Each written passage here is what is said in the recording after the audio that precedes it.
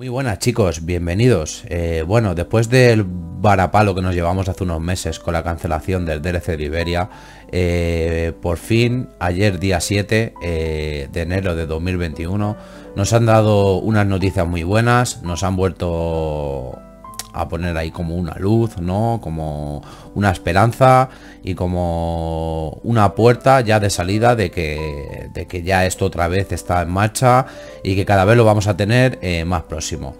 Bueno, es una publicación muy interesante que han publicado que se titula Viva la Francia, DLC Conexiones Iberia. Así que es una publicación súper importante.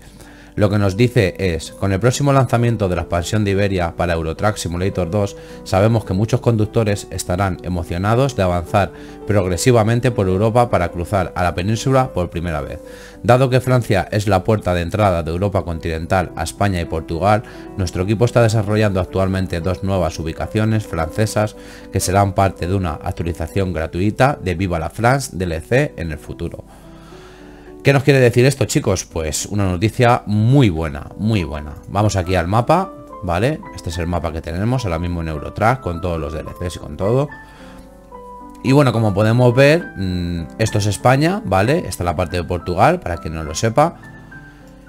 Y bueno, desde aquí a Francia, veis que falta un pequeño cacho en estos dos puntos que no nos llega a hacer que estemos unidos con España. ¿No? ¿Qué van a hacer con esto? Pues una obra maestra. Ha tenido una gran idea eh, SCS y lo que van a hacer es sacar una actualización para Viva la France, o sea, para el DLC de Francia, o sea, para esta parte de aquí de Francia, y lo que nos va a hacer es ampliar esta zona de aquí para ya hacer la conexión directamente con España. Así que fenomenal.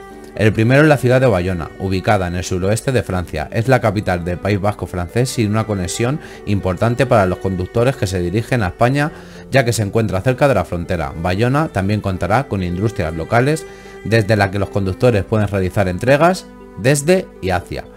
Bueno, pues Bayona, la primera ciudad que nos descubren, vamos a verla aquí en, las fotos que nos han dejado. Y bueno, fotos espectaculares. Aquí tenemos la rotonda con el, con el nombre de Bayona. Aquí vamos pasando y ya vemos que aquí ya está la conexión hecha con Toulouse, que si le tenemos en el mapa, así que Toulouse ya nos vamos a poder dirigir hacia Bayonne ¿vale? Que es la nueva ciudad que nos van a meter en el DLC de Francia este que estamos que nos están diciendo. Y veis que aquí este cartel ya nos lleva directamente desde Bayonne eh, hasta San Sebastián Bilbao. Así que fenomenal. Esta es la última foto que es espectacular. Y ya con los cambios que vamos a tener de iluminación de la, de la 1.40. Luego la segunda ubicación será la comuna más pequeña de Lac, que se encuentra en el distrito de Pau si bien este pequeño pueblo solo será un recorrido panorámico para la mayoría, hay una industria importante que se encuentra allí. El complejo industrial fue construido después del descubrimiento de uno de los mayores campos de gas natural del mundo. Hoy, LAC alberga la refinería más grande de Francia y es uno de los mayores productores y exportadores de azufre del mundo. Vale, pues también nos han dejado otras fotos eh, espectaculares de, este, de esta segunda conexión que vamos a tener eh, con España en Francia y mirar. Lac eh, se ve impresionante, es así como un pueblecito.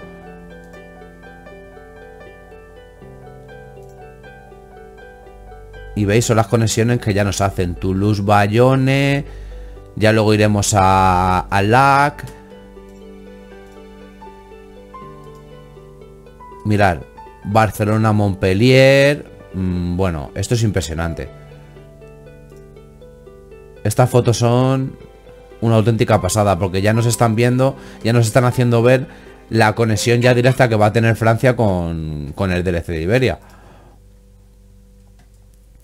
Luego nos dice, ambas áreas, eh, más dos nuevos cruces de conexión en Toulouse y Burdeos vendrán como una actualización gratuita de Viva la France.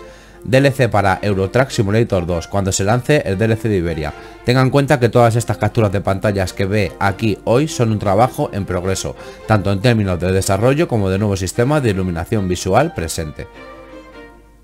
O sea que nos van a mejorar muchísimo con la versión 1.40. Vamos a ver las últimas fotos, que son generales.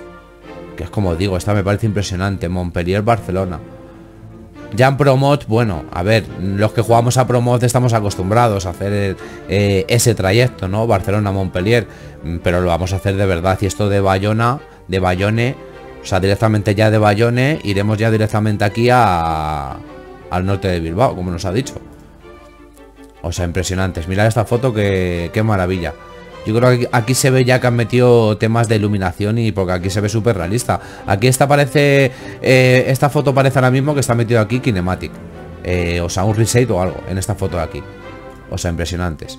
Impresionantes. También eh, lo que nos quieren decir con esto mm, es que aprovechemos y que si no tenemos el DLC de Viva la France, que lo compremos, porque si no, ¿qué pasa? Que no vamos a, a poder utilizar Eurotrack Simulator 2 DLC de Iberia.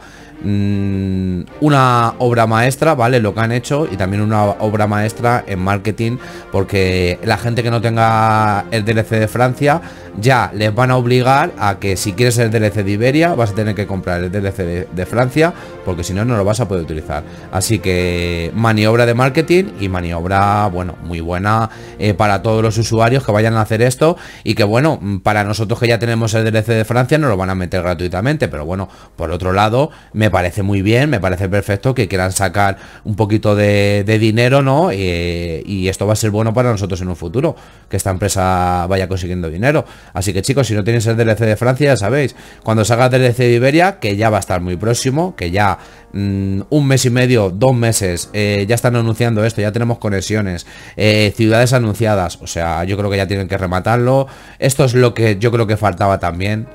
Eh, porque esto nosotros no lo sabíamos, hombre, era evidente que tenía que haber una conexión, pero claro, es que ellos ya lo tenían como muy, muy desarrollado, que ya lo iban a lanzar y a lo mejor no pensaron con esto, claro, la conexión, que primero tienen que hacer una conexión con Francia, eh, sacarla en un DLC, etcétera. Por lo mismo, esta es la transición que teníamos que haber esperado y después de esto ya tenemos el sorpresón.